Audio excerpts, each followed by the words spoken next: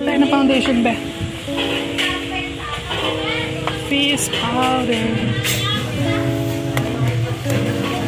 Alam mo maganda Naalin ba? Red orange. Peke naman yan, be. Kahit na. Bahala ka. Naghanap ako ng foundation. Magpo-full face ang ako. Kahit anong foundation. Foundation. Mm.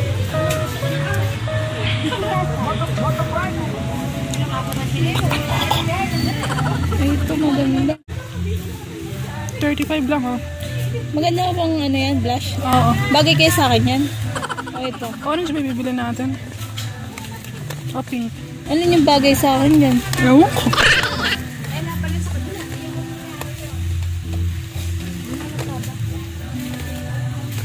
Ito na lang kaya.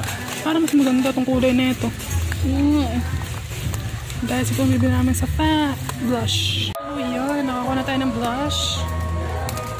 Foundation naman. Ito yata, Beo. Mia.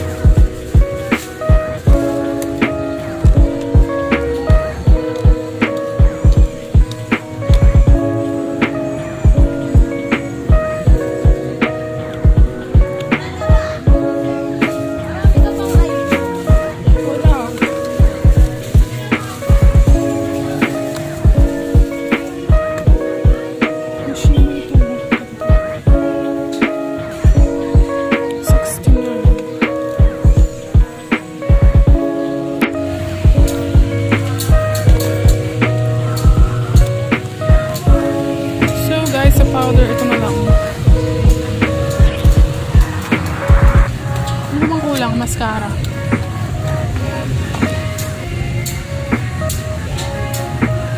Ka lang. Gold.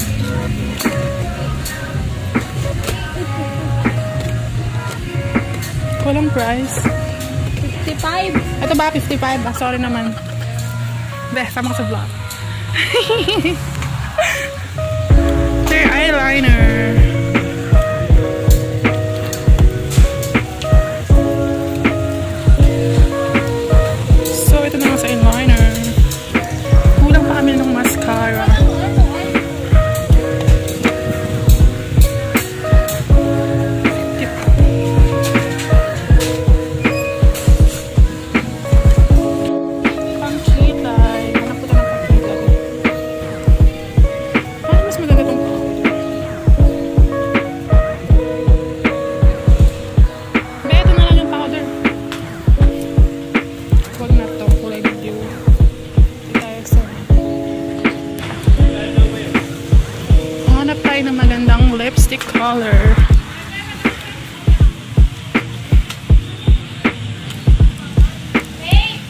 $2.49.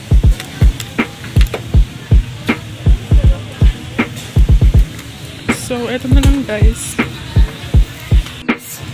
So, naghanap pa yung pangkilan. Ay, ako mag-vlog sa public. Ano ba yan? so, nakita ko dito na blush. Na medyo parang pang-contour siya. Pwede na siguro siyang pang-contour guys. Guys, naghanap pa kami ng pangkilan.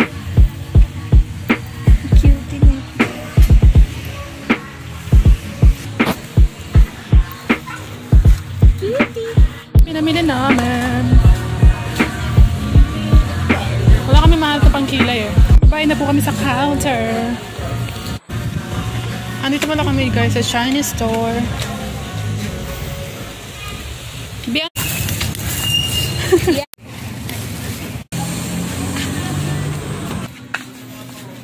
Ayun, una-una. Nakita. Ayun. 8 pesos. Ito 11. Mahaba. Saan? Ay, walang brush. Oo, mas maganda yung may brush.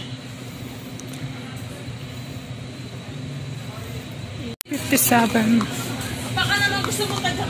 Kaso masyado siyang makapal. So, dito na lang tayo sa Take to 20. Yan. Tapos bili na rin tayo ng adhesive. To From Ash to Shine. Ayun o yung pang curl na sinasabi mo. Hi guys. Tapos na kaming mamili ng mga makeup. And nandito kami sa Alpha Mart.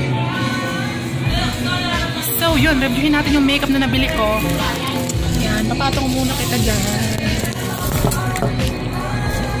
Yun. Malinaw ng camera ko dito. Dito ka kaya? Kaya mo? Diyan ka lang.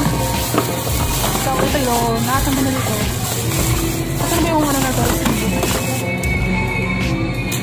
Tignan natin sa resibo. Total ay 416 pesos. Ano akong binili is Mia. Ito kasi tabi ko.